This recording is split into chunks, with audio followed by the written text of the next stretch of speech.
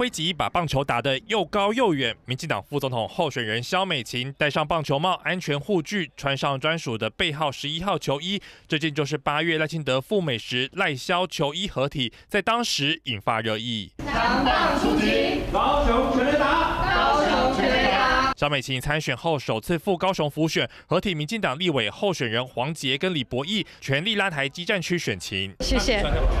会。南台湾艳阳高照，张美琴也有准备。根据三立新闻独家掌握，她穿上台湾平价品牌的台湾 logo 白色素 T，迎战热情的南台湾太阳。另外还有粉色长裤跟运动鞋，看起来相当轻便。而幕僚也有询问她是否要擦防晒乳，但张美琴拒绝，还是喜欢走自然风。不过一大早就南下跑行程。幕僚也准备咖啡帮肖美琴提神，讲到稍微烧虾，还有温开水让她润喉。会累吗？或者说你有做哪一些准备？我也不是第一次跑路站，过程当中很多乡亲给我们很大的支持跟鼓励哦，都是我们继续前进的动力。另外，肖美琴也到旗山辅选好姐妹立委邱意莹，她也大爆反台参选内幕。其实邱意莹是关键人物之一。我感觉我伫美国做啊好好啊，啊台湾遐济勇将，是安尼要叫我选。